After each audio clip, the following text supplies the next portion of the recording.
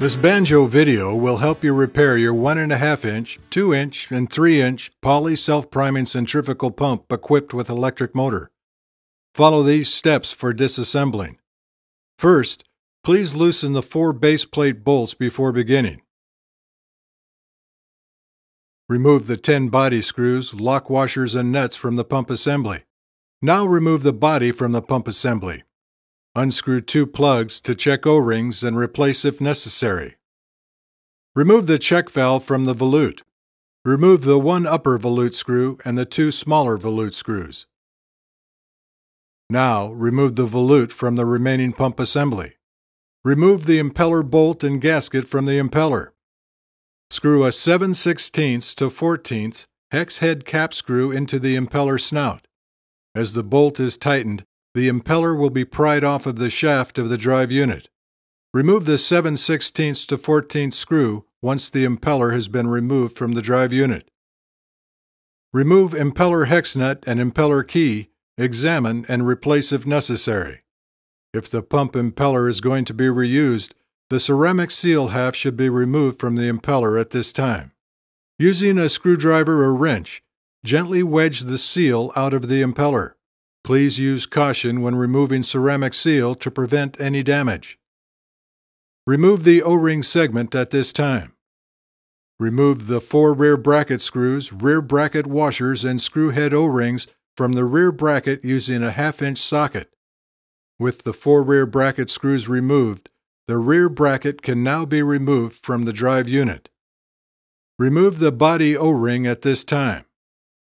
Remove the carbon seal half from the rear bracket. This may be done by using a round object such as a wrench socket and by tapping it gently with a hammer.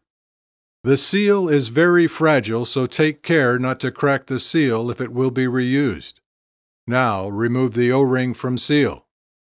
Remove shim if shim is included. Remove four bolts on adapter spacer and remove your spacer.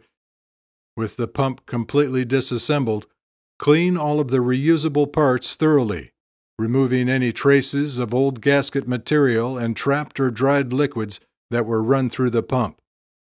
At this time, it may be necessary to polish the drive unit shaft to remove any corrosion that may have formed. Follow these steps for assembling. Install four bolts after replacing adapter spacer and replace the shim if one is included. Place the replacement seal O-ring behind the lip of the carbon seal half. The carbon seal half should now be installed into the rear bracket. To install the carbon seal half into the rear bracket, use a tool such as a 1.5 inch pipe nipple or arbor press to give even pressure on the metal flange of the seal housing during installation. Gently hammer the seal into position until it bottoms. Place body O-ring onto rear bracket.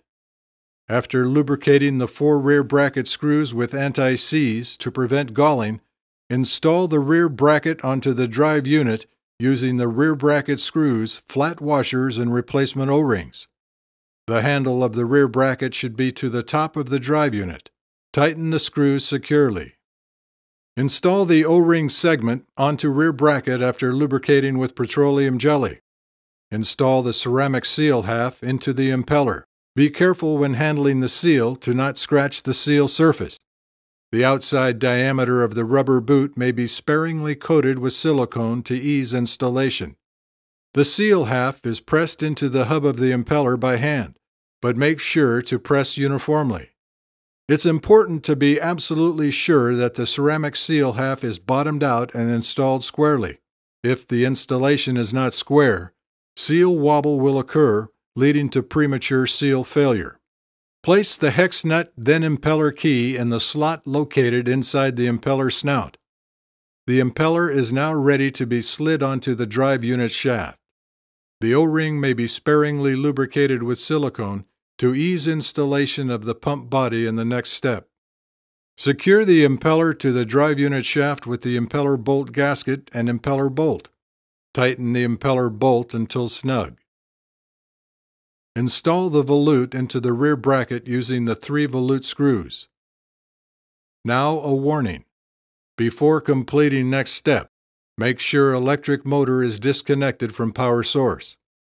The impeller should be turned over a few times by hand to check for clearance between the impeller and volute. A small amount of drag between the impeller and volute or impeller and rear bracket will cause no problem. However, if the impeller will not turn over because of a lack of clearance, a rear bracket shim or impeller shim may have to be used. Install the check valve onto the snout of the volute. Install the pump body with the outlet flange facing up. Install the 10 body screws, lock washers, and nuts to secure the pump body to the rear bracket. Cross tighten securely all the way around. Finally, tighten the four base plate bolts at this time. The pump is now ready for operation.